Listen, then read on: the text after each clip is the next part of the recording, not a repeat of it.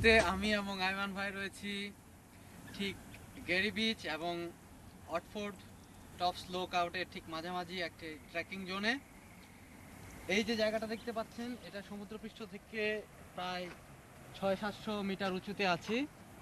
এটা বর্ষার সময় এই জায়গাতে একটা ছোট ফলসের তৈরি হয়।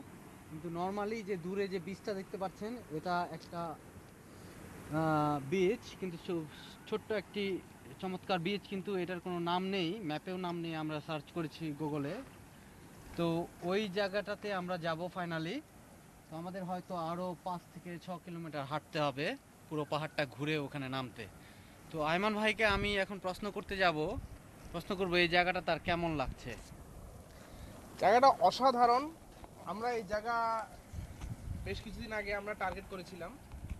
গুগলে আমরা র্যান্ডমলি সার্চ দিতে দিতে আমরা ওই অংশটা দেখে মনে করলাম যে, লিটু ভাই, এই বীজটাতে কখনো নাম দেখি নাই, নাম শুনিও নাই, জানিও না। ওখানে কি আদৌ কোনো পথ আছে কিনা যাওয়ার জন্য? তো আমরা আমাদের অ্যানালিসিস দিয়ে যা বুঝলাম যে এখানে একটা ক্লিফ ট্র্যাক আছে, যেটা দিয়ে আমরা এতক্ষণ ধরে গত এক ঘণ্টা যাবত হেঁটে আসছি। আর এখনও সেই ওই ওই বিচটাতে পৌঁছাবার রাস্তা খুঁজছি আমরা। তো দেখা যাক সামনে কি হয়। বিচটা যদি পৌঁছতে পারি, এটা একটা বড় একটা সাফল্য হিসাবে আমরা নিজেদেরকে মনে করব। বড় সফলতা।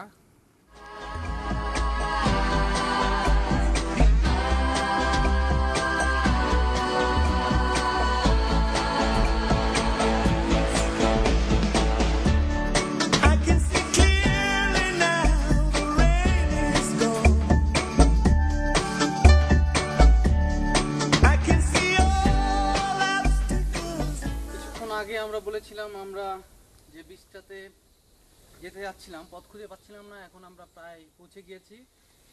নর্মালি সাধারণত অস্ট্রেলিয়াতে আপনার ফরেস্টগুলি হয়ে থাকে কিছুটা রুক্ষ কিন্তু এই জায়গাতে আমরা দেখতে পাচ্ছি কিছুটা রেন ফরেস্ট কারণ এখানে প্রচুর পাম ট্রি আমরা দেখতে পাচ্ছি এবং পাম ট্রির ঠিক কর্নার দিয়ে এখানে একটা ছোট্ট জলাশয় দেখতে পাচ্ছি।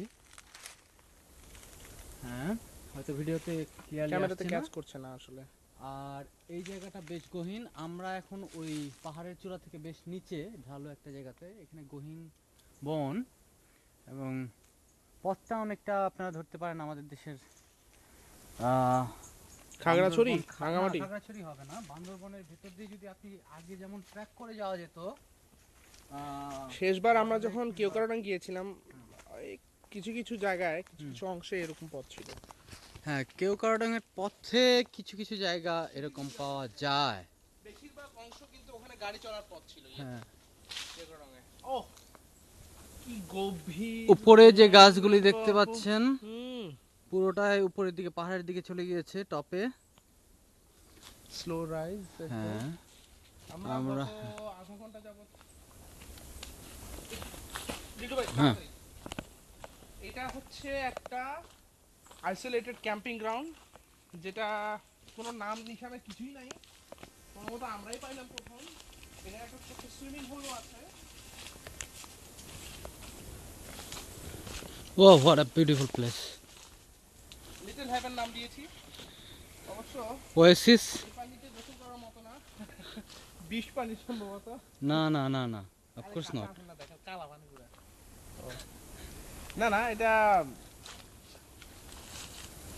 শাপলা পানি এখন শাপলা পানিতে আমি অবশ্যই উম, জানি না এগুলি কেমিক্যাল কম্পোজিশন কেমন থাকে এগুলি কি পিওর নাকি ড্রিঙ্কেবল ওয়াটার নাকি তাও তো জানি না।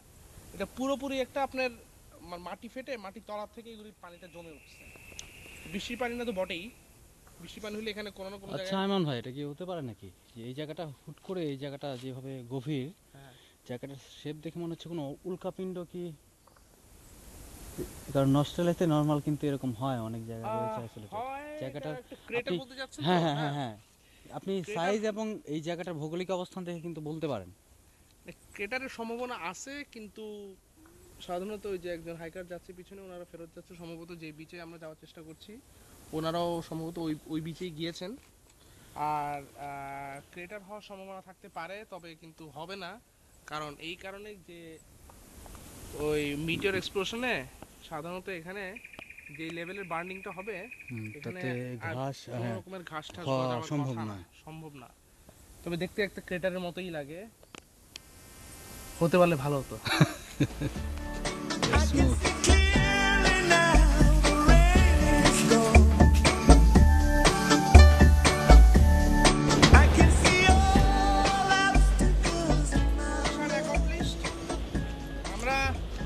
বিচ পেয়ে গেছি। দিদু ভাই একটু ঘুরান ঘুরায় দেখান।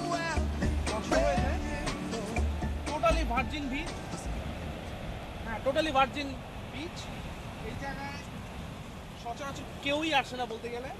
এটা কোনো মানে পাবলিকলি অ্যাক্সেস বিচ মোটেও না। এখানে জনবসতি আশপাশে কিছুই নাই। নিয়ারেস্ট পয়েন্ট অফ সিভিলাইজেশন হচ্ছে দুই ঘণ্টা মাউন্টেন ক্লাইম্বিং এর পর